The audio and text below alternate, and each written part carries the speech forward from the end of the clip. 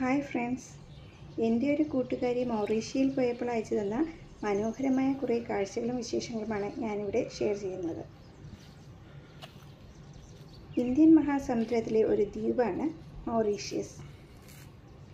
African വൻകരയിൽപ്പെടുന്ന ഈ രാജ്യം തെക്ക് പടിഞ്ഞാറൻ ഇന്ത്യൻ തീരത്ത് നിന്നും മൂവായിരത്തി തൊള്ളായിരത്തി നാൽപ്പത്തി മൂന്ന് കിലോമീറ്റർ അകലെയാണ് സ്ഥിതി ചെയ്യുന്നത്.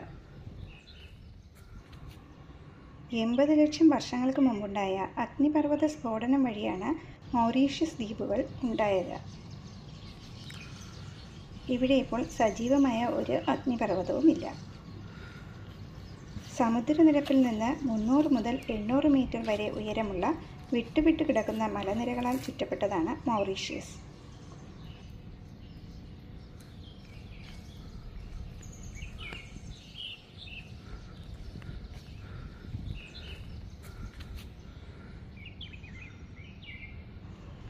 തടാകങ്ങൾ ബീച്ചുകൾ ബഹുവർണ പവിഴപ്പുറ്റുകൾ മഴക്കാടുകൾ വെള്ളച്ചാട്ടങ്ങൾ എന്നിവയെല്ലാം കൊണ്ട് അനുഗ്രഹീതമാണ് ഈ ദ്വീപ്.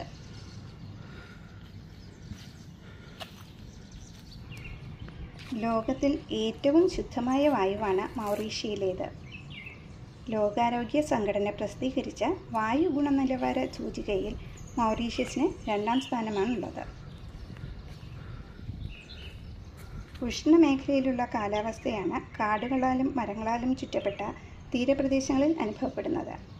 നവംബർ മുതൽ ഏപ്രിൽ വരെ നീണ്ടു നിൽക്കുന്ന ഈർപ്പമുള്ള ഉഷ്ണകാലവും ജൂൺ മുതൽ സെപ്റ്റംബർ വരെ ഉണങ്ങി വരേണ്ട തണുപ്പുള്ള ശൈത്യവുമാണ് ഇവിടെ.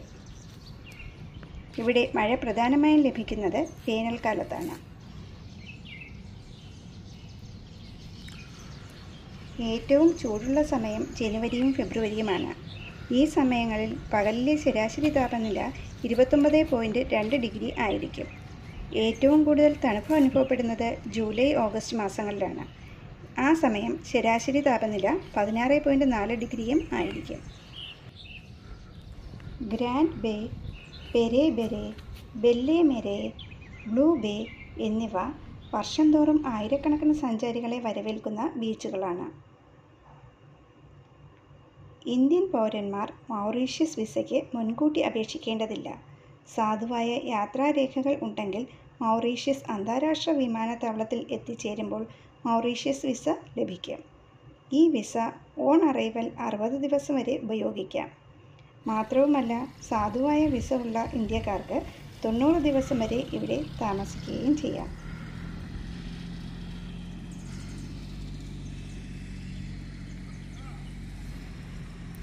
രണ്ടായിരത്തി നാൽപ്പത് ചതുരശ്ര കിലോമീറ്റർ വിസ്തീർണമുള്ള മൗറീഷ്യസിന്റെ തലസ്ഥാനം പോർട്ട് ലൂയിസാണ്.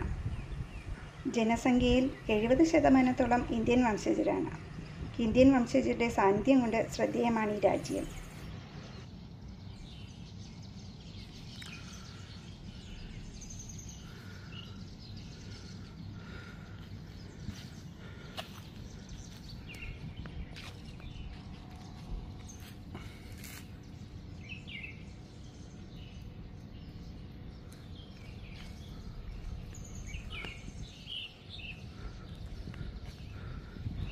കൂടുതൽ മൗറീഷ്യൻ വിശേഷങ്ങളുമായി അടുത്ത വീഡിയോയിൽ കാണാം.